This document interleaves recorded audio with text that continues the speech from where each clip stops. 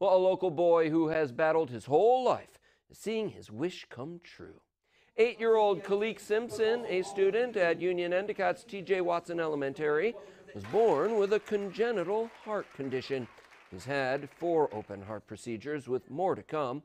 Bringing some relief to what has been a tough battle is Make a Wish of Central New York. The organization has granted Khalik's wish and is sending him and his family to Disney World. Khalik was absolutely thrilled and in complete shock today to learn he'd be heading to Disney for the first time. His mother, Tanaya, says she's happy her son gets to see his wish come true, and Khalik shared what he's excited to see at Disney.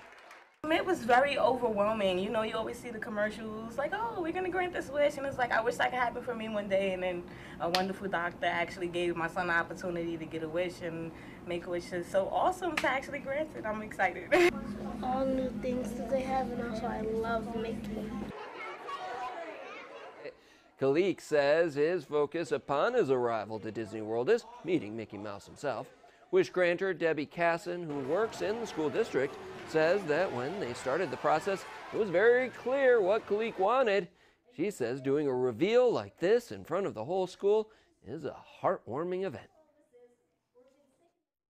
It's really exciting. We've been very excited. I actually work for the Union Endicott District. So I've been in the TJ Watson. It's a wonderful little school up here, a community school, and we were so excited to be able to take this on and to reveal Khalik's wish in front of this great community. Casson says Make a Wish of Central New York currently has 150 wishes yet to be granted in their queue.